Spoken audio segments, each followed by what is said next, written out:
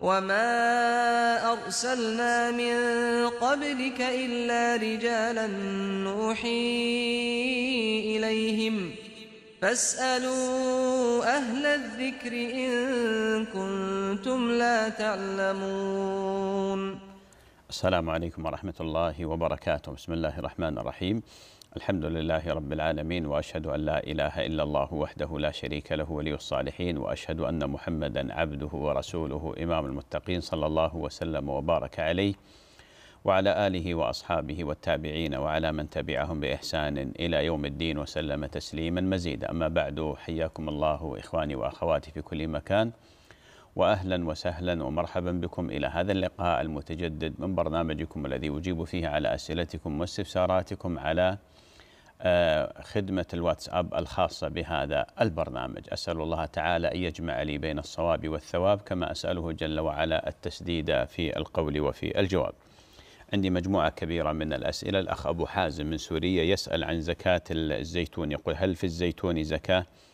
أخوي أبو حازم من سوريا بالنسبة للزيتون هل فيه زكاة أم لا؟ محل خلاف بين العلماء والراجح من أقوال أهل العلم.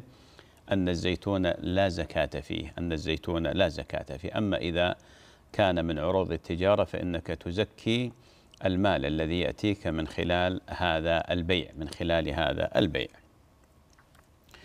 أم عزام من اليمن بارك الله فيها تقول صليت الظهر خمس ركعات وقلت أسجد سجود السهو بعدما أسلم ونسيت وما ذكرت إلا بعدما صليت السنة فرجعت وسجدت سجود السهو بعدما صليت السنة. هل فعلي صحيح؟ أم عزام من اليمن. نعم فعلك صحيح. أم عزام طبعا تقول بأن صلت الظهر خمس ركعات الظهر أربع ركعات نسيت. فقالت سأسجد بعد السلام نسيت أيضا وجاءت بالسنة الراتبة البعدية ثم تذكرت فسجدت بعد السنة. هل فعل هل هذا الفعل الذي قامت به صحيح؟ الجواب نعم. بارك الله فيك ورضي عنك. أحسنت حينما أتيت بالسجدتي السهو.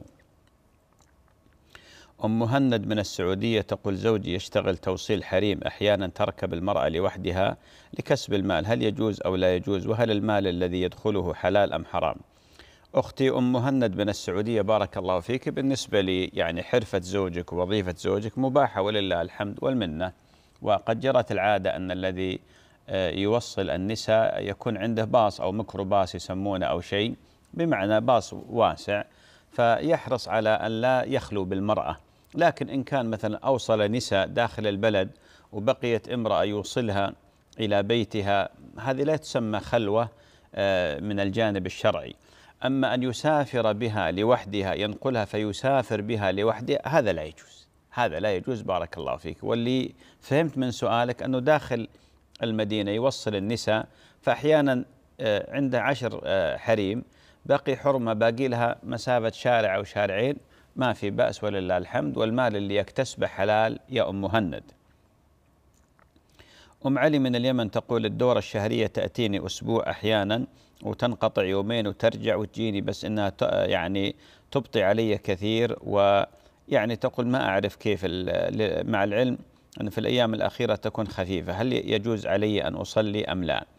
أختي أم علي من اليمن بارك الله فيك. بالنسبة للدورة الشهرية المرأة في الغالب أنها تعرف دورتها ستة أيام سبعة أيام خمسة أيام. وتختلف النساء بعض النساء تبدأ الدورة عندها كدرة وصفرة مع أوجاع البطن وآلام الظهر وتبدأ الدورة مباشرة. هذه من الدورة من النساء لا من ينزل عليها دم من ينزل عليها كدرة وصفرة قبل الدورة بأيام ولا يصحبها شيء من آلام الدورة. هذه ليست بدورة قضية أنه والله يتقطع عليك طبيعي.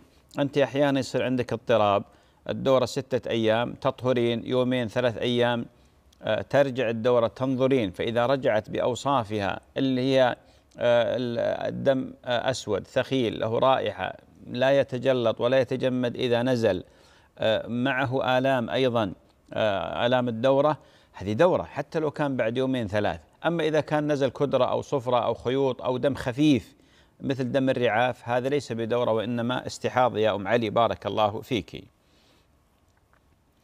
سهى من العراق تقول لي أخت توفيت بمرض السرطان قبل 14 سنة حملتني وصية هي مطلوبة صيام 11 سنة. أديت الوصية لكن هل أدفع عنها كفارة الصوم أم لا؟ سهى بارك الله فيك ورحم الله أختك وجعلها في جنات النعيم. وقد أحسنت حينما نفذت وصيتها خاصة وأنها ذكرت لك بأنها مدة 11 سنة يعني كان عليها قضاء مثلا. والنبي عليه الصلاة والسلام قال من مات وعليه الصيام صام عنه وليه. والراجح من قول أهل العلم أنه كل صوم واجب. فكونك قمت وأديت هذا الصوم يكفيك هذا وما عليك كفارة ولا عليها بارك الله فيك. أبو عبيد من الإمارات يقول تعرفت على فتاة وعائلتها بغرض الخطبة وقد أعجبتني من نواحي كثيرة وبعد السؤال تبين أن الفتاة مقصرة في صلاتها. ولقد فكرت أن أدعوها للالتزام قبل العقد فإن وافقت والتزمت عقدت عليها وإلا تركتها. ما تنصحني يا شيخ؟ أبو عبيد بارك الله فيك ويسر الله أمرك وأسأل الله تعالى أن يختار لك الزوج الصالح. أخوي الفاضل تشكر على هذا الملحظ. أنت انتبهت من البداية.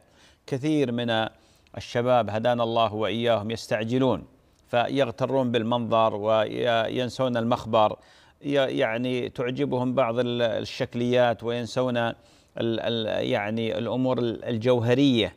ولذلك أنت التفاتتك مهمة جدا. فإذا كانت هذه المرأة ستكون أم أولادك فكيف يرجى لامرأة ما تصلي أن تخرج جيل يصلي؟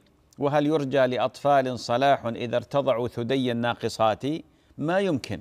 ولذلك أخي الفاضل بارك الله فيك احرص قبل ما تعقد عليها قل له أنا بلغني بأن صلاتك خفيفة وأنا رجل الحمد لله مستقيم. أنا أريد أن أؤسس أسرة صالحة. تلتزمين الصلاة أم لا؟ من الآن. الوجه من الوجه أبيض. تقول تتعاهد لك بأنها والله إن شاء الله إذا تزوجت وهي قد بيتت النية ويعني أصلحت الطوية في أنها متى ما أن تزوجت ستستقيم وتلتزم الله يبارك لك ولها. أما تقول لك والله لا أنا ما أدري أنا أنصحك بأنك تهرب. أنصحك بأن والله رجال كثر أعرفهم وبعضهم لا أعرفهم يتواصلون معي. تورطوا. يعني تساهلوا في البداية وتفاجؤوا بأن المرأة ما بدأت يعني لا لم تكن قد تربت على الصلاة ولما زادت عليها مشاغل البيت وحقوق الزوج والأولاد تركت الصلاة بالكلية فانتبه لهذا بارك الله فيك وفاء من أمريكا تقول عندي زوجي آه، عدة مرات يقول لي يريد أن يتزوج ولن يتزوج إلا إذا وافقت أنا وأنا معترضه وغير موافقه، هل علي ذنب؟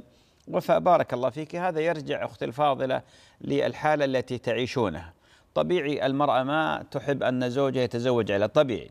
فإذا كان زوجك محتاج إلى زوجة ثانية، كونك تعانين أمراض، كونك تعانين مثلا مشاكل صحية، كونك ما تلبين له الأشياء التي يطلبها الزوج من زوجته.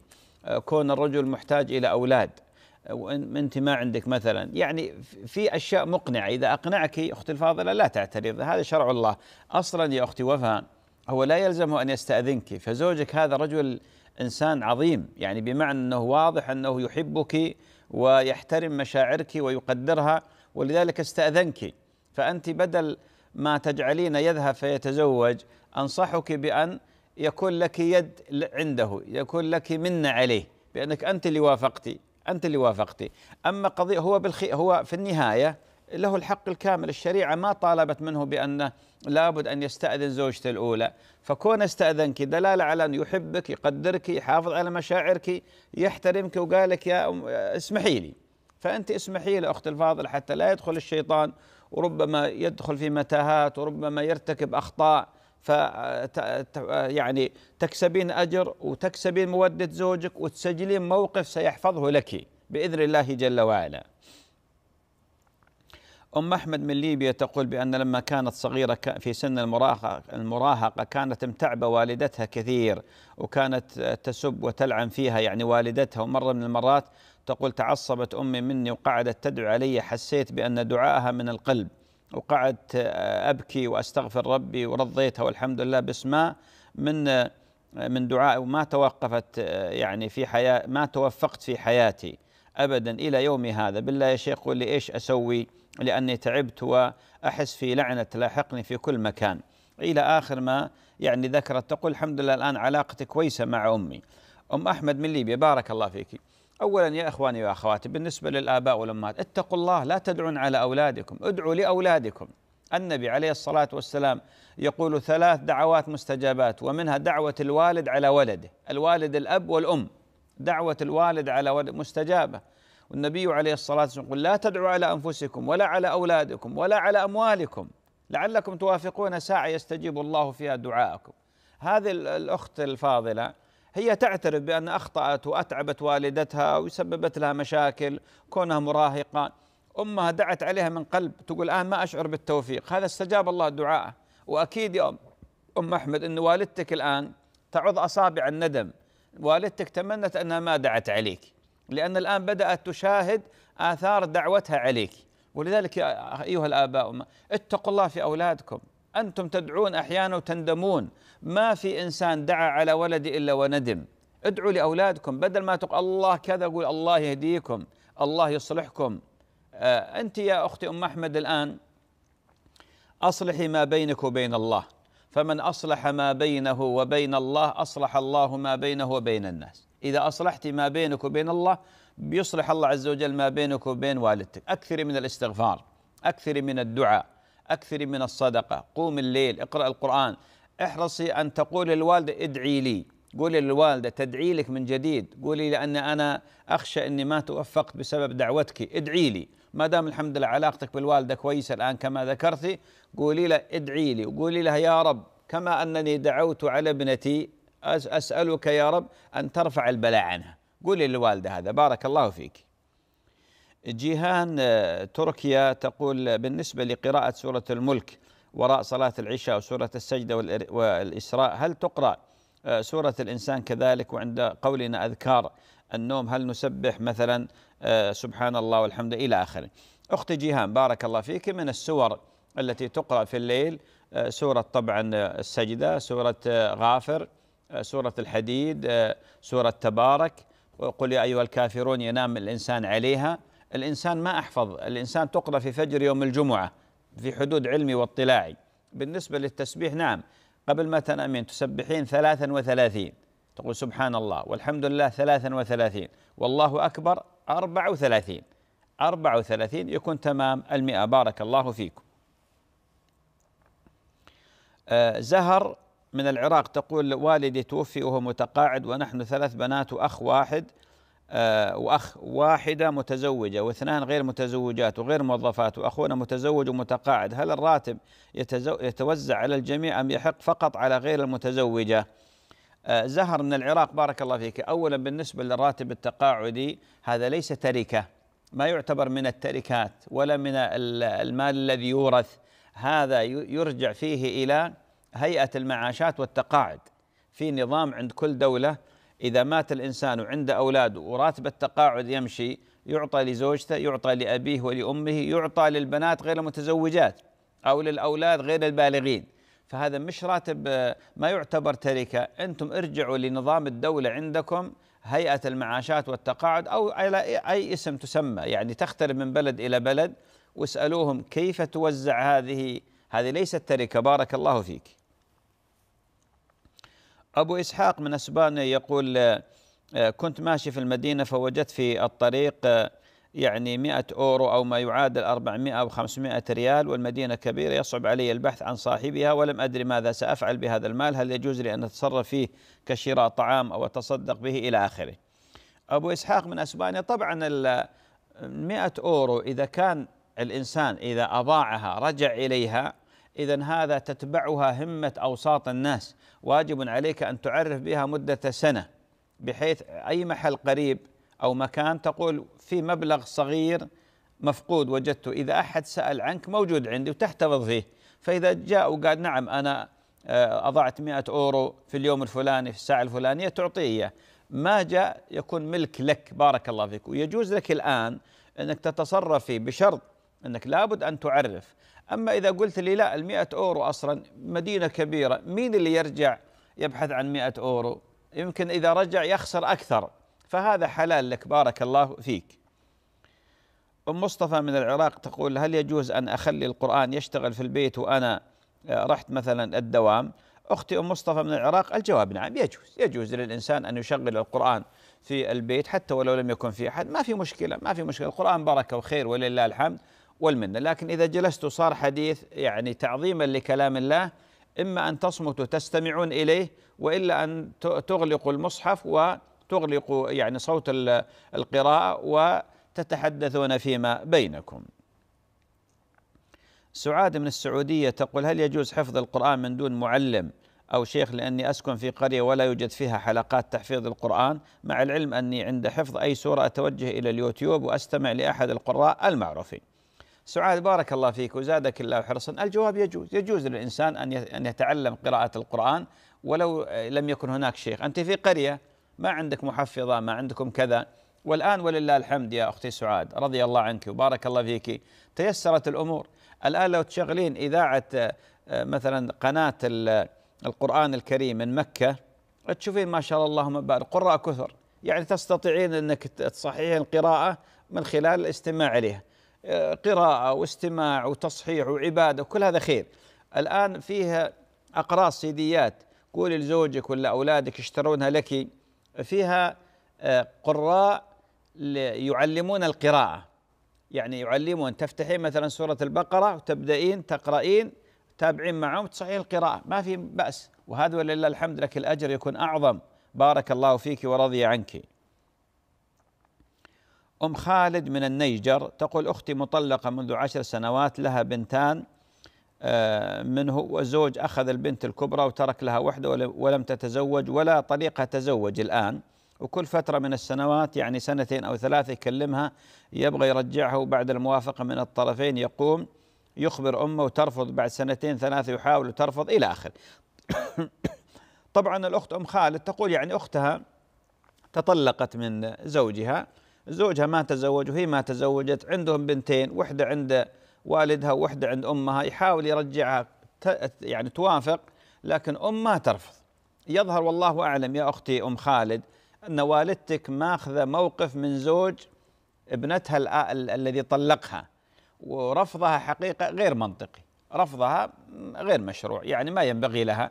أنتم الآن قولوا لزوج هذا الزوج يجيب هدية يعتذر لها يحاول أنه يخبرها بأنه ندم على ما سبق خاصة إذا كانت امرأة كبيرة في مقام والدته.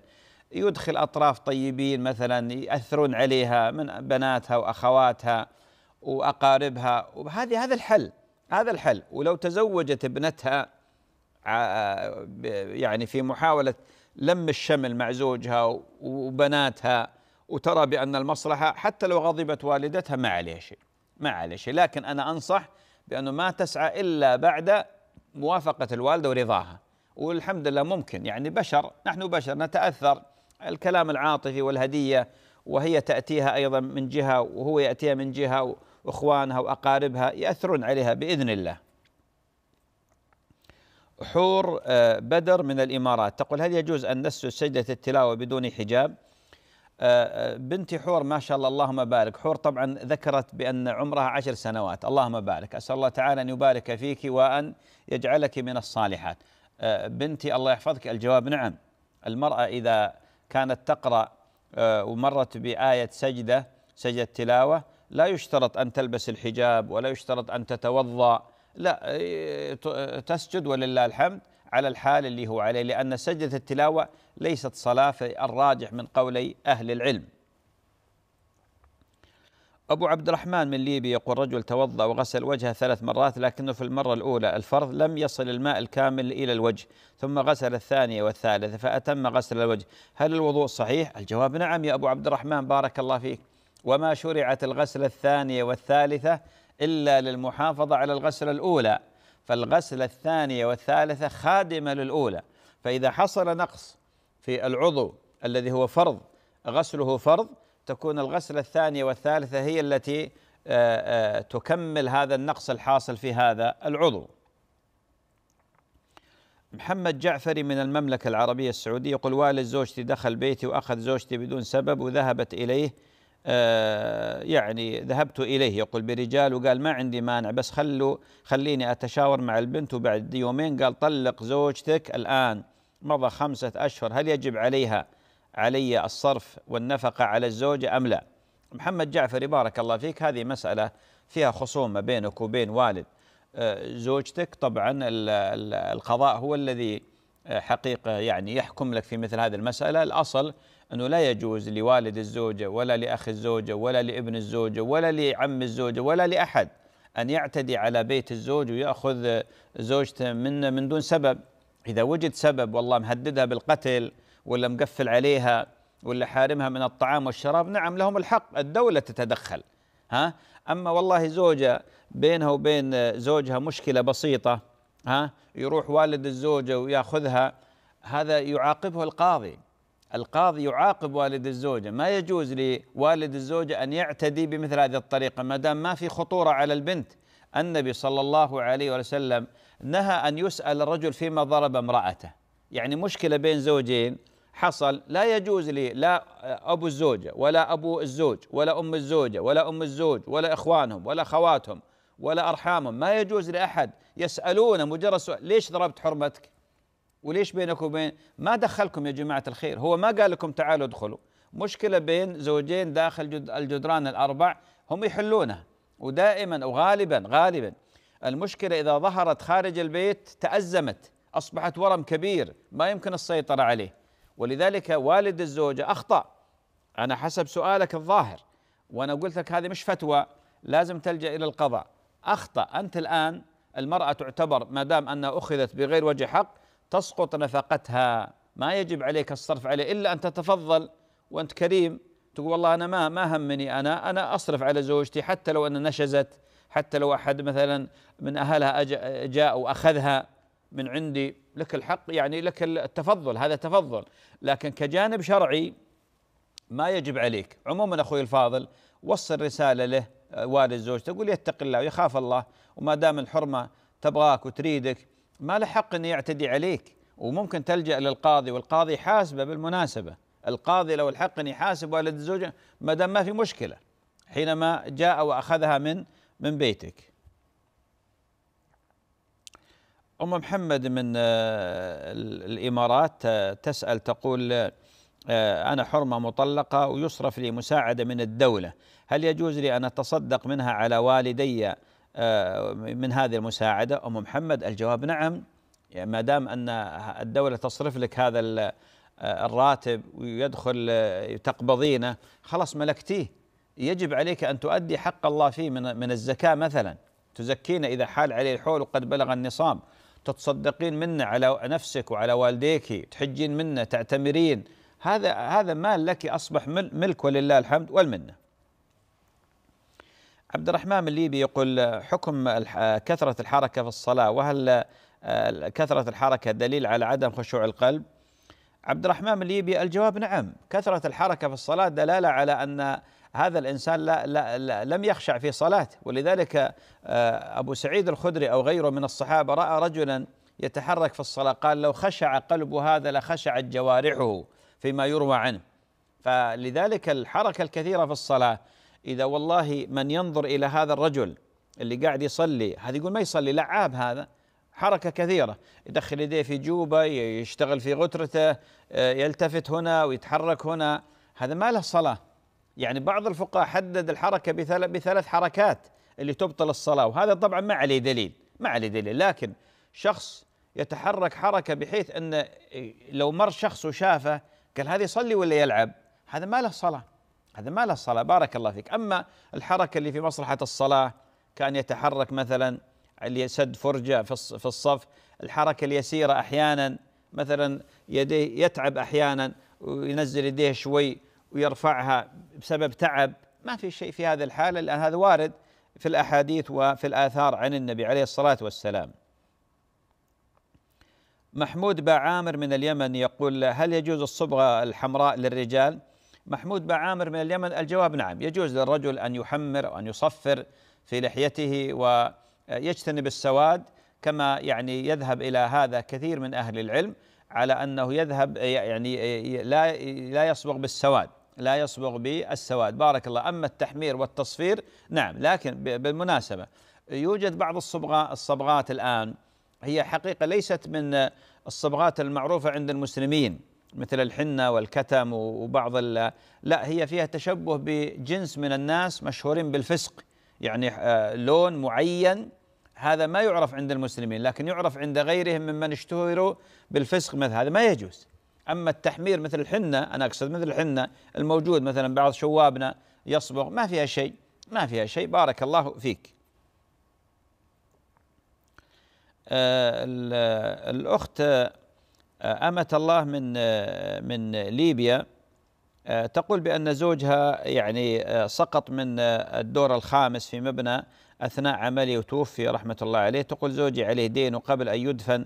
دعوت الله بأني قد تكفلت بدينه. فهل يا رب فهل ربي يتقبل زوجي برحمته ولا يحاسبه على دينه؟ لأني سمعت النبي عليه الصلاة والسلام رفض الصلاة على شخص عليه دين إلى آخر ما ما ما ذكرت. أختي أم أختي أمة الله من ليبيا. اولا يعني نرجو الله عز وجل أن يكون زوجك يعني شهيد لأنه السقوط وقد يكون سقط عليه شيء يكون هدم. مسألة الدين اخت الفاضل ما دام أن أنك تكفلتي خلاص انتقلت من ذمته إلى ذمتك.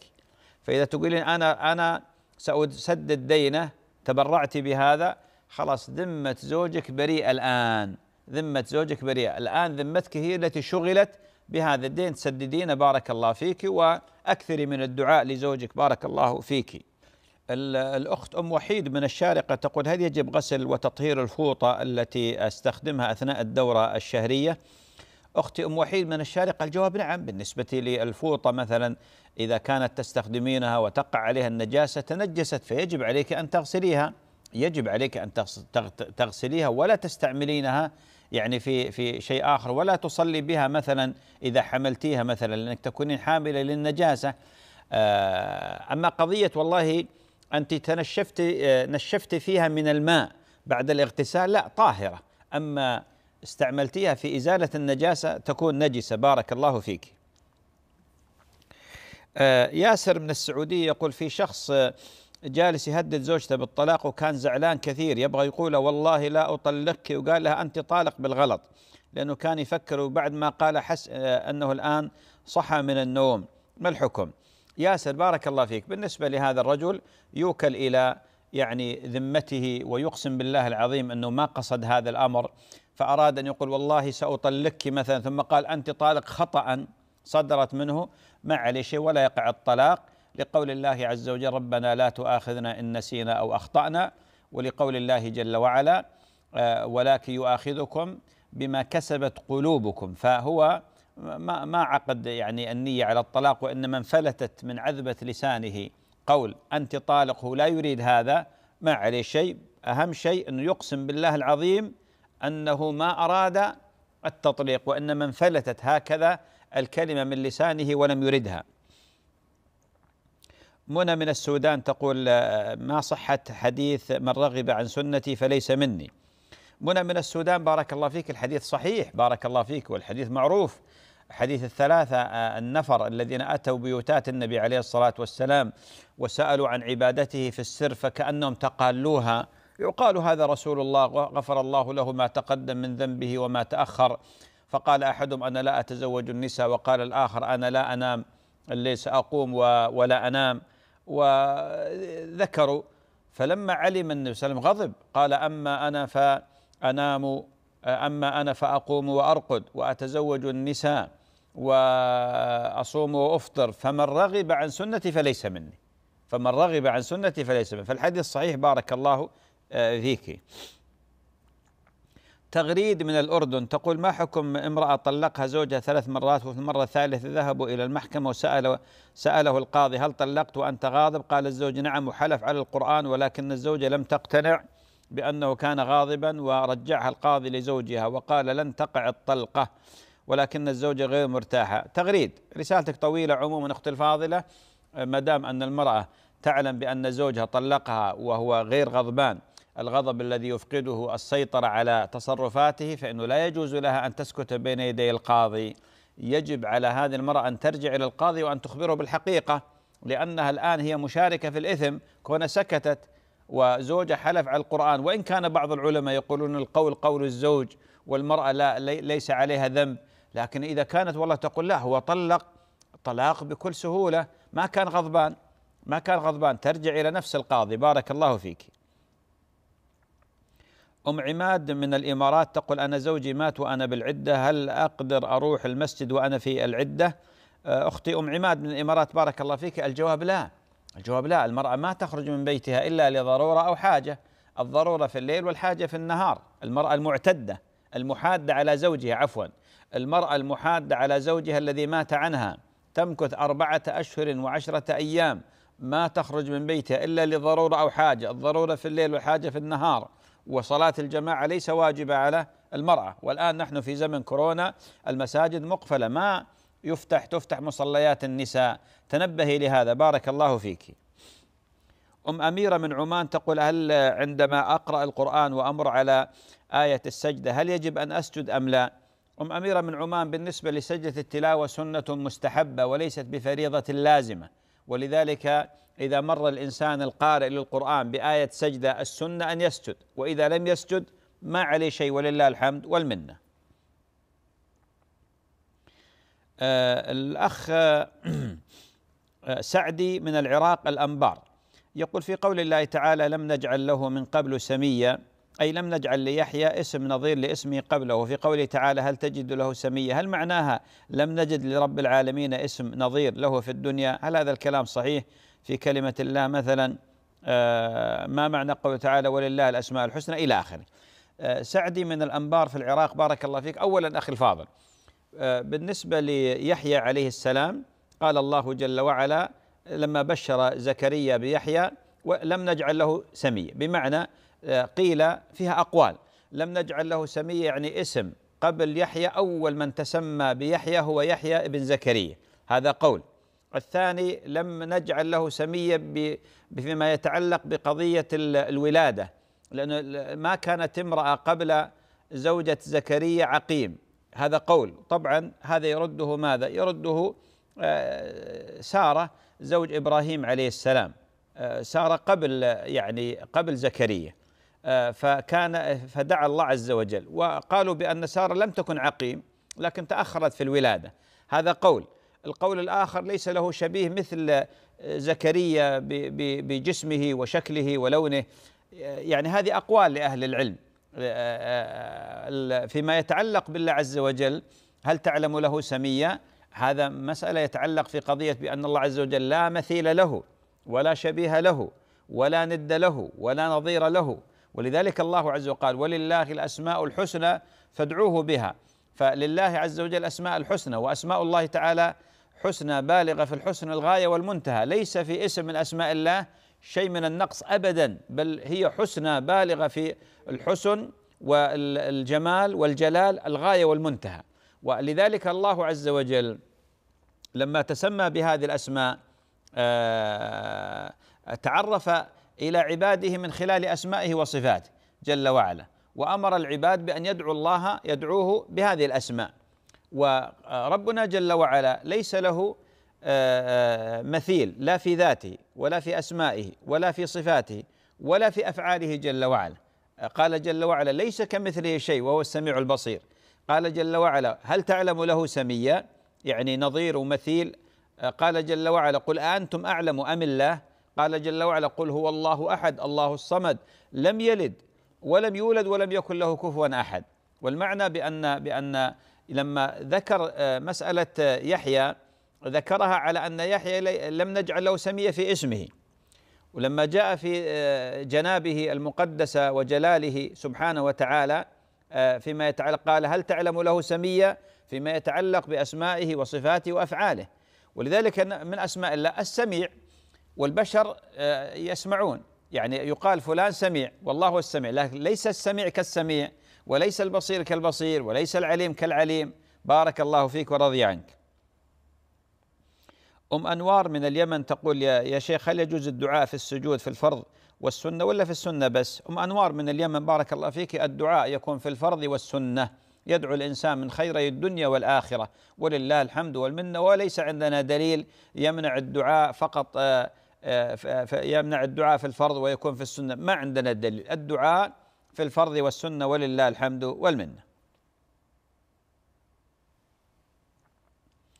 أم عابد من السعودية تقول يا شيخ أنا امرأة عمري 53 سنة ذهب زوجي للمحكمة يريد يطلقني وقال لابني اسأل أمك هل هي طاهرة؟ فقلت له نعم أنا طاهرة. وبنفس اللحظة كأني شكيت أن الدورة علي. ذهبت لأتأكد وجدت الدورة علي. وأنا يوم قلت له إني طاهرة كنت صادقة ولا أعرف متى نزلت علي الدورة؟ وأنا كنت تعبانة بنفس اليوم وكنت أنتظر الدورة. آه، ثم قلت لابني قل لي أبوك أن الدورة نزلت علي. فقال أنا خلاص طلقت وطلعت من المحكمة. هل يقع الطلاق بهذه الطريقة أو لا يقع؟ أم عابد من السعودية الجواب بأنه يقع. الجواب بأنه يقع ما دام أن القاضي قد حكم آه، وأصدر الصك وقع الطلاق. لأن جمهور الفقهاء يذهبون إلى أن الطلاق آه، في الحيض يقع يقع. في بعض العلماء قالوا لا يقع لكن ما دام أنه حكم القاضي وقع الطلاق واستقبلي عدتك بارك الله فيك. أمة الله من فرنسا تقول زوجي يشتغل بمطعم بفرنسا وهذا المطعم يقدمون لحوم الخنازير والكحول لغير المسلمين. ما الحكم الشرعي؟ عندي خمسة أبناء أخاف من الراتب الشهري إلى آخر ما ذكرت. أمة الله بارك الله فيك قولي لزوجك يتق الله ويخاف الله ولا يكتسب إلا الحلال ويبتعد عن الحرام. وكون والله يقدم الكحول ولحم الخنزير لغير المسلمين لا يعني بأن مكسبه حلال. المسلم يتعامل بشريعته وعقيدته وما يمليه عليه دينه. يبحث من الآن عن عمل آخر حتى لو كان أقل راتب فإن الله تعالى آه، إذا بارك في القليل جعله كثيرا. وقولي له يتق الله وقولي له أنت أطعمنا الحلال. أنتم ما عليكم ذنب. أنت وأولادك ما عليكم ذنب. الذنب عليه إذا والله غير مضطر مثلا ضرورة يعني آه، ملجئة له. فقولي له يبحث عن عمل آخر وإن شاء الله الله عز وجل يفتح له من أبواب الخير. أم نور من اليمن تقول ما حكم الصلاة في الملابس إذا آه، لمسها دم الحيض؟ أم نور بارك الله فيك دم الحيض نجس يغسل ونجاسته مغلظة. ولذلك لا يجوز للمرأة أن تصلي بثوب عليه آثار دم الحيضة. ما يجوز. أمر النبي عليه الصلاة والسلام النساء بأن يغسلن دم الحيض وليس شرطا أن يغسل الثوب كله وإنما تغسل البقعة اللي وقع عليها دم الحيض. بارك الله فيك. أم عمر من الإمارات تقول يا شيخ زوجة أخوي معذبة أخوي عذاب شديد وأخوي مسكين هل أدعي عليها ولا ماذا ما الحل؟ لأن هي ظالمة. ويعني هل علي ذنب إذا دعيت عليها؟ أختي أم عمر من الإمارات طبعا أنت الآن أمامك خطوات الخطوة الأولى تذكرين هذه المرأة وتخوفينها بالله وتبينين لها بأن زوجها له آه، عليها حق عظيم وتتقي الله فيه. وإذا كان زوجها رحيم وحنون وطيب ما يعني بأنه تستغل بمثل هذا الاستغلال الفظيع؟ وذكريها بالله وقولي لها ترى هناك آه، المظلوم الله عز وجل يستجيب دعاءه. فاحذري من دعوة المظلوم. فإنه ليس بينها وبين الله حجاب. والله إذا شفتيها وصلت مرحلة من الصلف والقسوة وتعنتت ورفضت ها قولي لها شوفي أنا بصلي بدعو بقوم عليك الليل بصلي الليل وأدعي أدعي عليك. قولي لها الكلام هذا. لعل الله يفتح على قلبها. لأن بعض الناس والعياذ بالله عنده من القسوة وجفاف المشاعر وقسوه القلب الشيء الفظيع. نعوذ بالله. ما ينفع في ذكرى ولا موعظة. فإذا أنت تعتقدين بأن والله قاعد تظلم أخوك وتقسو عليه وكون إنسان مثلا قد يكون عنده يعني بعض الأمور اللي ما يستطيع يواجهها هذا ما يعني بأنه يترك. انصر أخاك ظالما أو مظلوما.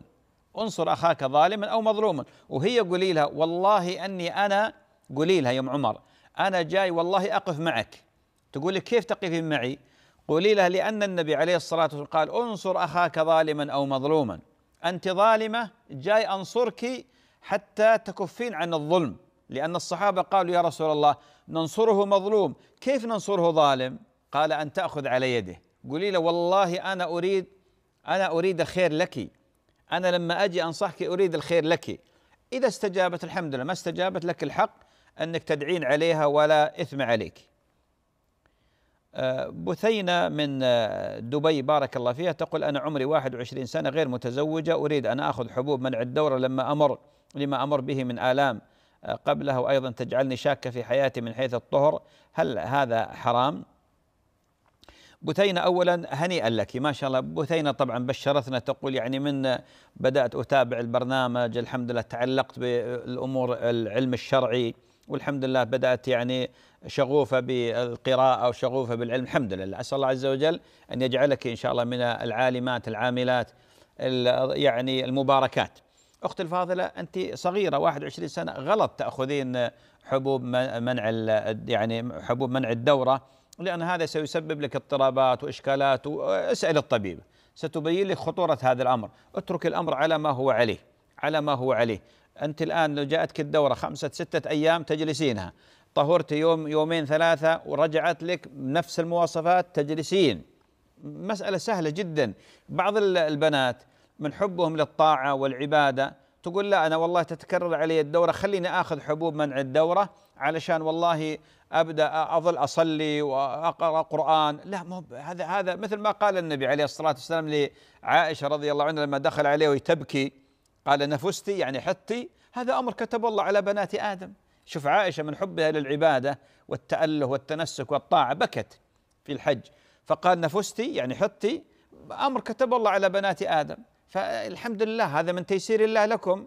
فما في داعي تشددين على أنفسك على نفسك. بارك الله فيك يا بثينه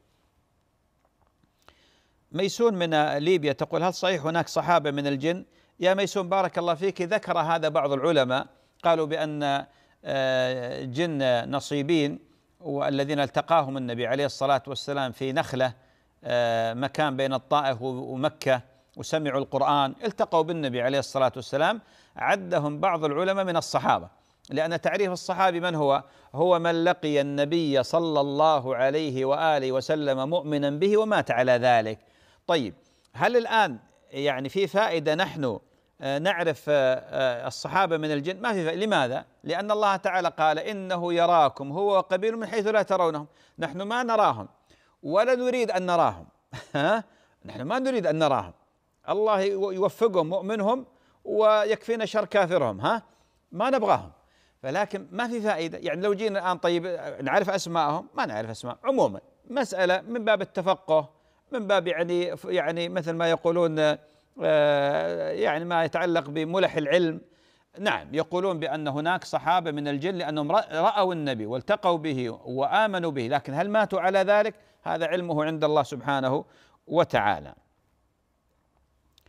تسنيم من كندا تقول أنا عمري 19 سنة عندما عندي عفوا تبول لا إرادي يوميا خلق لي شكوك وعجز من المداومة على الصلاة لوجود النجاسة المستمرة على الحفاظات يعني كيف أصلي؟ تسنيم أسأل الله تعالى أن يعافيك وأن يكتب أجرك وأسأل الله تعالى أن يرفع هذا الداء عنك. أختي الفاضلة لا تكلفين عمرك ما لا تطيقين. عندك تبول لا إرادي أنت معذورة. أنت من أصحاب الأعذار. إذا جاء إذا جئت تصلين توضئي زين؟ الآن أنت هممت بالصلاة. روحي توضئي مباشرة والبس الحفاظة وصلي. حتى لو نزل ما عليك شيء.